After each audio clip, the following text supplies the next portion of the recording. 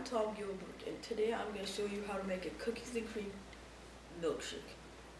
There are a lot of desserts out there that are delicious, like fudge cake, muffins, cupcakes, and more.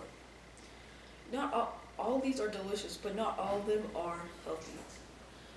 In this in this dessert, there there are blueberries. Blueberries are very healthy for you, and they have a lot of vitamins and clear up the blood cells.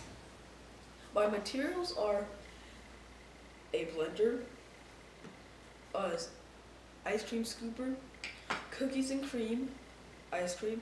If you do not have cookies and cream, you can use vanilla and Oreos. You, you, uh, you should use two to three Oreos.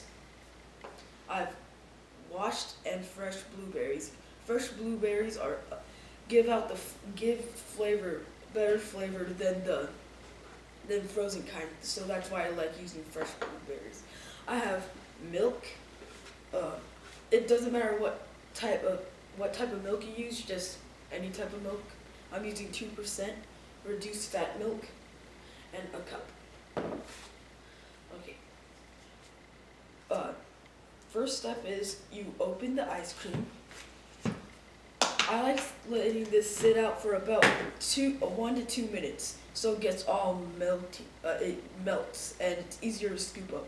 I say about four, four to five scoops of ice cream.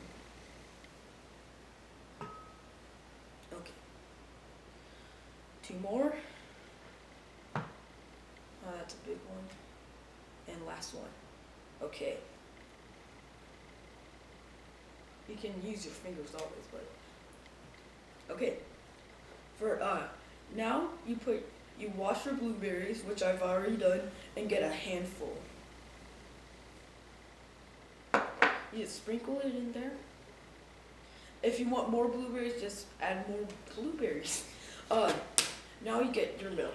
Use about two thirds of a cup. I'm just estimating. You should use always less milk than you need because um, it's easier to put milk in. Uh, it's easier to add more milk than it is to lose milk. okay, now you plug in your uh, you plug in your blender. If you haven't done already, and then you turn it off with the lid on, and then you put it on full blast. If it's not it's not uh, if it's not going around, you can always uh, use your spoon and put it in there.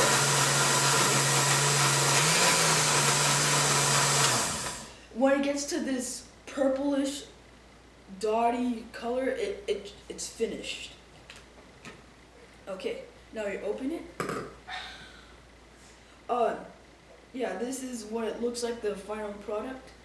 Uh, so all you have to do, if it's a little too uh, mushy, you should add more milk in. If it's a little too liquidy, you should put in uh, more ice cream. So just pouring it in there. It looks like I have a little more milk, but that shouldn't be a problem right now. So I get my scooper, just try to scoop it out. Put this in there. Delicious.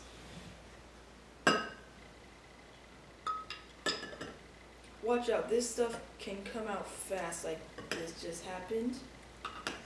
And please not leave a spill, spillful. And this what it, it, this is what it should look like. Thank you and goodbye.